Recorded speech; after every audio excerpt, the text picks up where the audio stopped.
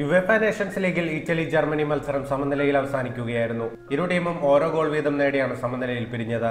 അർജന്റീനക്കെതിരെ മൂന്ന് ഗോളിന് തോറ്റ ഇറ്റലി ആദ്യം ഗോൾ നേടിയ ശേഷമാണ് ജർമ്മനിക്കെതിരെ സമനില വഴങ്ങിയത്. മത്സരത്തിൽ ഇറ്റലിക്കെതിരെ വിജയം നേടാൻ കഴിയാതിരുന്നത് തീവ്രതയും കൃത്യതയും ടീമിലില്ലാതിരുന്നത് കൊണ്ടാണെന്ന് ജർമ്മൻ പരിശീലകൻ ഹാൻസി ഫ്ലിക് പറഞ്ഞു.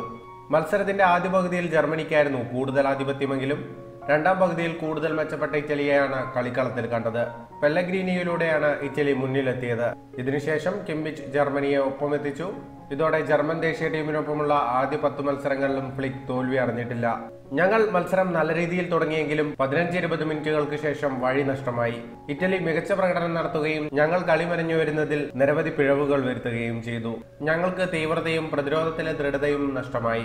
ഈ മേഖലകളിൽ ഞങ്ങൾ മെച്ചപ്പെട്ടാൽ ചൊവ്വാഴ്ച നടക്കുന്ന മത്സരത്തിൽ ഞങ്ങൾക്ക് കൂടുതൽ മെച്ചപ്പെടാൻ കഴിയും.